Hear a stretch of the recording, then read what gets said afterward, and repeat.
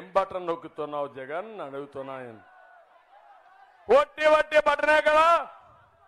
ఏం తమ్ముళ్ళు ఈరోజు అడుగుతున్నా మిమ్మల్ని. అందరికి అమ్మఒడి వస్తా ఉందా అని అడుగుతున్నా.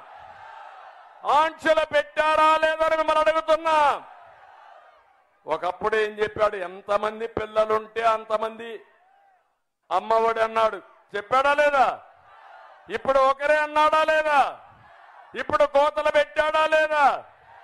అందుకే నేను చెప్పా బంగారు భవిష్యత్తు కార్యక్రమంలో బ- ఇది భవిష్యత్తు గ్యారంటీ కార్యక్రమంలో మహాశక్తి కింద ఎంత మంది పిల్లలుంటే తల్లులకు ఆమె ఇస్తున్నా తల్లికి వందనం కింద పదహైదు వేల రూపాయలు ఇచ్చే బాధ్యత నాది.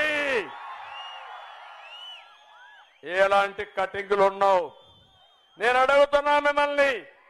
సమిక్షేమాన్ని ప్రారంభించిన పార్టీ ఏ పార్టీ తమ్ముళ్ళు అని అడుగుతున్నా. ఎనభై మూడులో రెండు రూపాయల కేజీ ఇచ్చిన పార్టీ ఏది? సగం ధరకే చీరాతో ఇచ్చిన పార్టీ ఏది?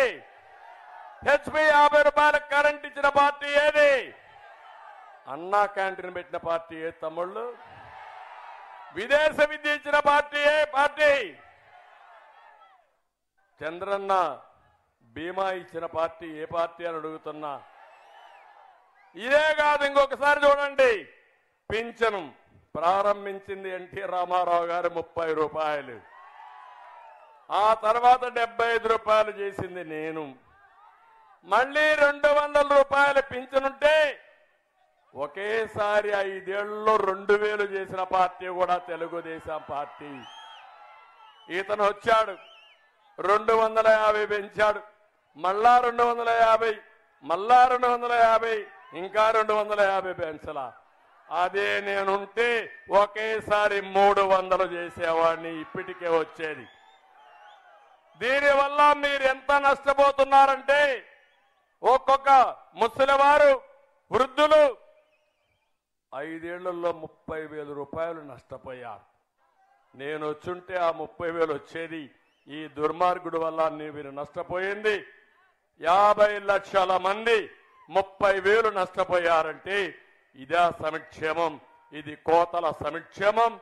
మాటలు కోటలు దాటుతున్నాయి. చేష్టలు గడప కూడా దాటడం లేదు. నేను అందుకే ఆమె ఇస్తున్నా. భవిష్యత్తులో సంపద సృష్టించడం తెలిసిన పార్టీ తెలుగుదేశం పార్టీ.